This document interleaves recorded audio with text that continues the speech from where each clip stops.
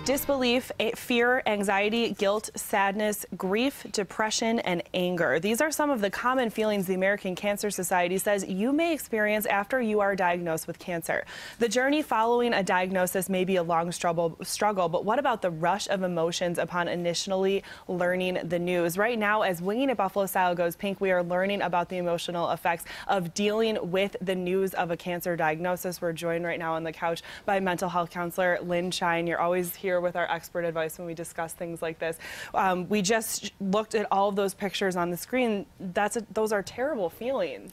Yes. That they tell you to be prepared for. Well, those feelings are the feelings that everyone experiences in any sort of grief reaction. So initially you're shocked, um, you know, and you're in denial that this maybe it's not a true diagnosis, and you start bargaining with whether it be a higher power or you're bargaining with the doctors, and you're, you know, you go through period by period depression and guilt and anger until you get to resolution. And it's waves of an ocean. It's not a clear little line. You go from one stage to the other to the other. And when you're ready to start telling people, that can be very hard to prepare for what their reactions are going to be.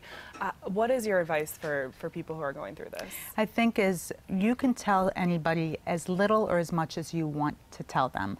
Um, understand your audience. So there's some people, if you know that they like to chat or they'll give too much information, you may want to um, preface your statements with, listen, I know that a whole lot of people have this, but I'd rather you not tell me the stories. Or um, I have breast cancer, but I'm, you know, I, I, feel confident that we'll be able to be okay.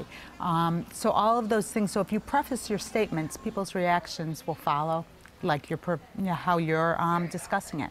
And a lot of people have trouble um, dealing with the feeling that people feel sympathy for them or that they feel bad. Mm -hmm. That can be hard for people to deal with. How do you suggest people handle that? Because that's what people will feel for you if you are diagnosed. That's that's exactly right. And you know, people feel like they need to say something and sometimes what they say, they feel like they need to give advice or they need to tell about their next door neighbor who has cancer, or they feel, and the reality is you shouldn't be saying any of those things. Um, you need to say, gosh, I don't know what that feels like. I'm not in your shoes, but I'm sorry.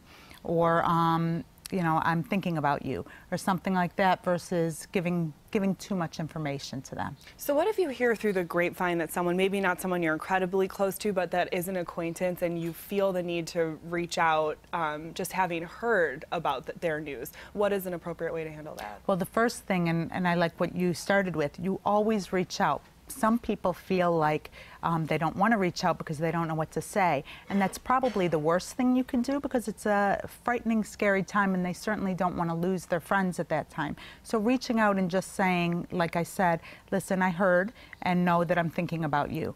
Or um, the other thing that people do, which I really think is fantastic, is, is having a chain of people that either bring over a meal if someone's going through chemotherapy or radiation and they're not going to have the energy to feed their families. And there's a lot of anxiety that goes along with that.